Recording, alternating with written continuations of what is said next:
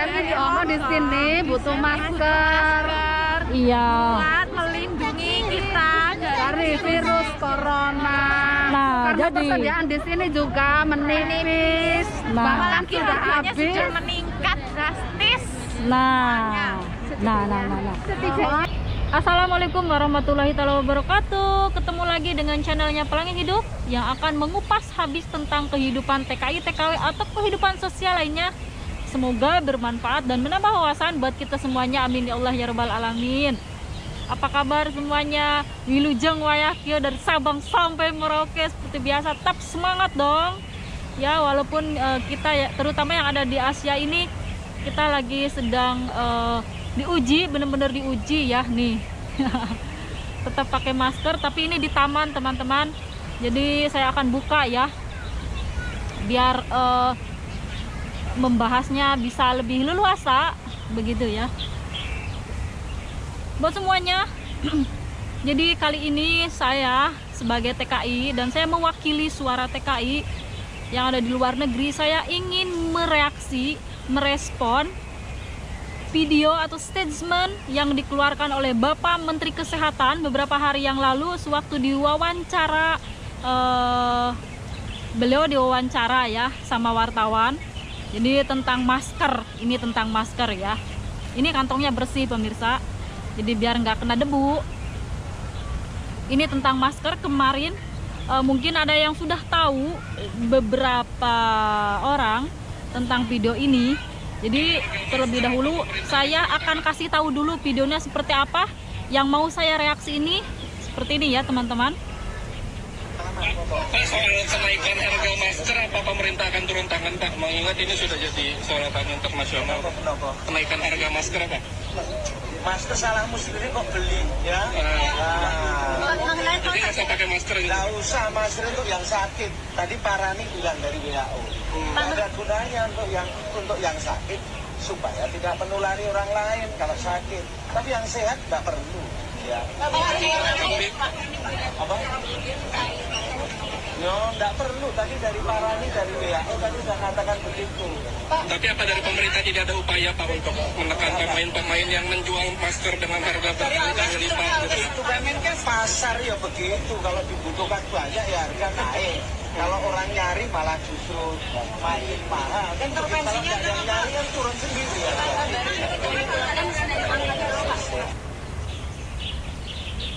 Nah, jadi kurang lebih seperti itu ya teman-teman.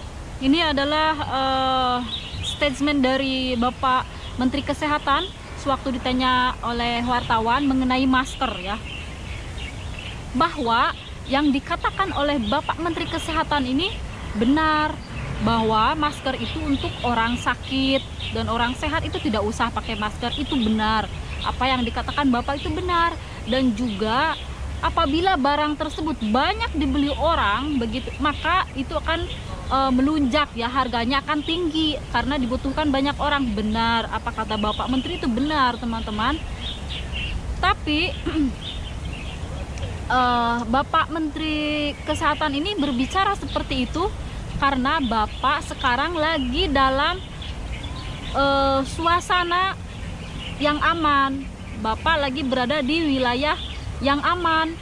Di Indonesia sekarang kan aman, tidak ada pencemaran apa namanya virus corona. Jadi Bapak berbicara seperti itu itu wajar-wajar saja. Coba Bapak Menteri berada di wilayah kami ini.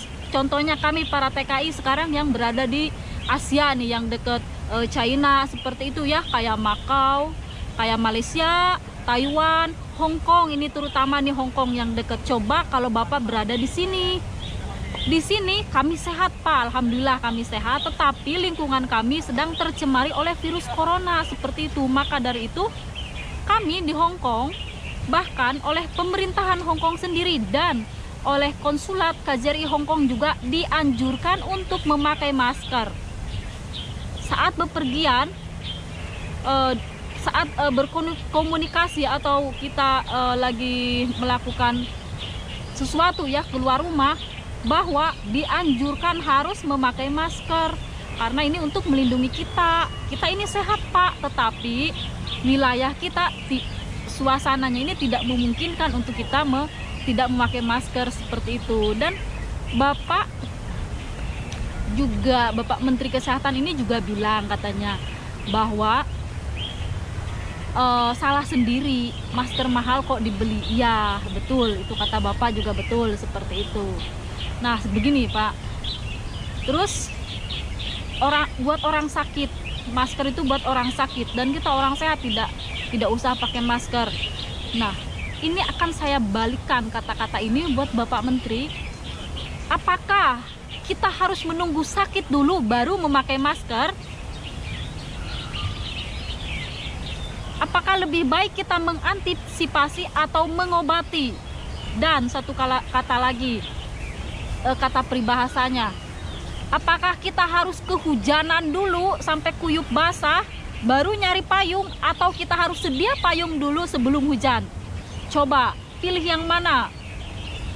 Apalagi ini para TKI di sini eh, terutama ini yang ada di Hong Kong ya di Asia sini kita banyak sekali melakukan kegiatan keluar rumah seperti berbelanja begitu ya keluar rumah melakukan eh, pekerjaan lebih lebih banyak bergerak seperti itu. Tentunya kita eh, harus lebih eh, menjaga kesehatan kita. Contohnya salah satunya yaitu tadi dengan memakai masker pelindung seperti itu. Dan kalau jika kita di antara kita para TKI ada yang terkena virus corona, bukan cuma kita saja yang rugi. Udah sakit, kehilangan pekerjaan, pasti dampaknya pun akan sampai ke negara Indonesia, ke pemerintahan Indonesia seperti itu.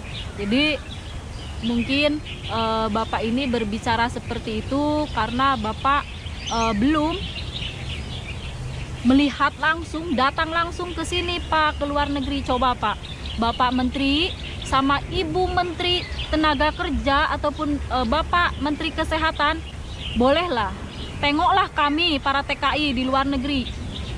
Dampaknya seberapa besar terhadap kami para TKI e, dengan adanya virus corona ini. Coba kalau Bapak sudah tengok kami, sudah melihat kami berkunjung ke sini, ya minimalnya berkunjung ke Hong Kong lah begitu melihat para TKI gimana eh, suasananya.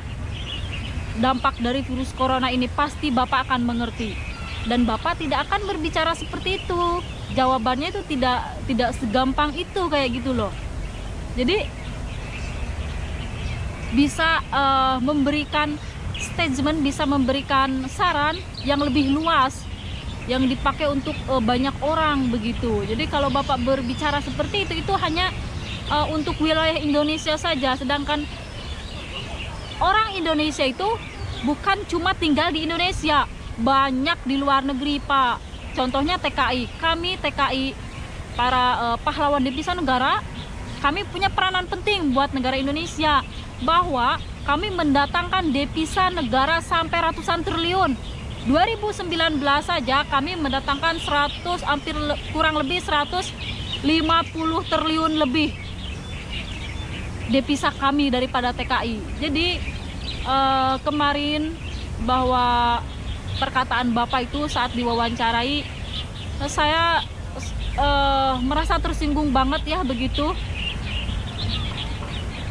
terutama TKI-TKI yang lainnya juga ada ya banyak yang tersinggung oleh perkataan Bapak seperti itu. Kami di sini susah payah pontang-panting nyari masker, Pak. Seperti itu. Terus Bapak tiba-tiba berbicaranya seperti itu gitu kayak bukan merendahkan ya gimana sih ya mau ngomong saya. Jadi kayak waduh kayak nggak ada harganya gitu ya. Ini itu kayak nggak ada harganya ini di sini sekarang krisis masker pak. Sangat susah banget. Tetapi alhamdulillah uh, sudah ada bantuan dari BUMN yang bekerja sama dengan KJRI Hong Kong. Di antaranya ada Bank BNI Syariah Bank Mandiri dan Bank BRI dan juga ada organisasi-organisasi lainnya yang dibentuk oleh para TKI wah subhanallah banget. Terima kasih buat organisasi-organisasi BUMN dan ada vlogger-vlogger juga yang benar-benar mempunyai rasa keprimanusiaan terhadap para TKI. Mereka berbondong-bondong mencari masker dari Indonesia, mendatangkan masker ke sini, Pak. Lalu dibagikan secara gratis. saya sangat terharu banget itu walaupun jumlahnya hanya beberapa beberapa lembar kayak gitu ya tapi alhamdulillah setiap minggu selalu ada dan dibagi-bagi di titik-titik eh, tempat ya seperti itu di sini di luar negeri kami sangat bekerja keras pontang-panting untuk mendapatkan masker. Sementara bapak komentarnya seperti itu. Jadi itu sangat menyen apa ya kayak tersinggung gitu pak bapak berbicara seperti itu. Ya mohon maaf kalau saya ada salah kata seperti itu. Karena virus corona ini dampaknya sangat besar sekali pak. Ini sudah inter go internasional. Ya sudah hampir 30 negara yang tercemari uh, virus ini. Seperti itu bahkan di sini di Hong Kong aja uh, anak-anak sekolah sengaja diliburkan sampai bulan Maret pertengahan Maret mereka baru masuk sekolah. Sekarang Hong Kong libur. Seperti itu. Bahkan uh, belum semuanya orang-orang masuk kerja juga Pak begitu bahwa uh, Bapak itu atau Ibu Menteri juga ya, Ibu Menteri Tenaga Kerja, eh, Bapak Menteri Kesehatan. Jika ingin mengetahui lebih dalam seperti apa sih dampaknya, boleh. Kami para TKI dengan senang hati eh, kalau Bapak ingin ketemu kami di sini, ingin melihat kondisi kami, benar-benar kami sangat eh, senang sekali begitu ya biar lebih tahu gitu suasananya seperti apa gitu di sini di luar negeri gitu para TKI. Dan saat eh, ada wabah virus corona ini seharusnya pemerintahan lebih fokus, benar-benar lebih perhatian banget begitu terhadap kami. Diadakan penyuluhan lah seperti itu ya, ada dokter khususnya untuk bagaimana cara melindungi para TKI, menjaga diri eh, apa kesehatan lah seperti itu ya. Bagaimana caranya terus ada pengiriman masker juga itu tadi sudah ada dari BUMN tetapi mengingat jumlah kami yang sangat besar banget terutama ini di Hong Kong Pak. Di Hong Kong ini ada kurang lebih 173.000 jiwa 173.000 jiwa bayangkan sebanyak itu orang Indonesia, masyarakat Indonesia yang bekerja di luar negeri di sini di Hong Kong doang, Pak. Bayangkan, ada yang kirim master masker nih 10.000, 5.000, 15.000, 20.000 itu dibagi untuk 173.000. Bayangkan, bisa kebayang nggak per orangnya berapa lembar? Sedangkan ini virus corona ini eh, kita tidak tahu kapan berakhirnya, kapan menghilangnya. Seperti itu. Jadi kami ini masih masih tetap eh, menunggu bantuan dari pemerintahan pemerintahan Indonesia eh, terus menerus ya sampai berakhirnya virus corona ini karena walaupun kema- majikan kami masing-masing juga diwajibkan harus menyediakan masker tetapi majikan kami juga sangat susah sekali mendapatkan masker sampai eh, sampai sampai harus berjam-jam mengantri. Itu pun kalau ada kalau nggak ada jangankan masker pas sekarang di Hongkong ini kayak belanja tisu beras seperti itu sampai ngantri-ngantri. Sempat itu sampai tengah malam jam 10 kayak gitu. Saking krisisnya ya. Dan ini penyebaran virus corona ini benar-benar cepat sekali seperti itu ya ini untuk semuanya eh, mohon maaf ya jika ada yang tersinggung oleh kata-kata saya saya mengeluarkan pendapat seperti itu karena negara Indonesia adalah negara demokrasi dan kita seluruh rakyat Indonesia juga punya hak dan berhak mengeluarkan pendapatnya masing-masing seperti itu. Maka dari itu saya mengeluarkan pendapat saya seperti itu. Barusan semoga eh, bisa menger- dimengerti ya buat semuanya seperti itu. Dan saya paham, saya juga tahu bahwa Bapak Menteri Kesehatan ini tentunya lebih pengetahuannya lebih lebih lebih dan tidak ada banding nya kalau dibandingkan saya. Saya mah cuma TKI pak. Saya mah cuma babu seperti itu tapi saya suka mencermati setiap ada masalah baik itu di Indonesia maupun di luar negeri yang berhubungan dengan TKI seperti itu saya sangat eh, besar sekali ya. Di sini tuh kayak ada pengen gitu ya sesama TKI itu saya pengen ngasih semangat mereka memberitahu informasi kepada sesama TKI nah itu yang eh, dalam hati saya yang terpendam yang saya punya seperti itu. Jadi kalau ada yang menyinggung para TKI atau apa pun itu pasti saya selalu bersuara seperti itu. Eh, mungkin Bapak belum tahu bahwa di Jepang di Jepang sekarang harga masker oleh pemerintahannya didiskonin Pak. Bukan di dibiarkan mahal dibiarin eh, yang penjual dan pembeli dibiarin semaunya aja begitu ya. Itu kan kalau dibiarkan harga akan semakin mahal begitu ya. Jadi nggak karuan. Tapi di sini juga pemerintah harus ada ada tekanan buat produsen harus ada tekanan buat mereka yang menjual masker ya produsen seperti itu bahwa harganya harus tetap standar. Nah kalau ada sudah ada perintah seperti itu insya Allah semuanya akan merata tidak mungkin se melonjak seperti itu. Jadi ini harganya benar-benar dua kali lipat seperti itu ya.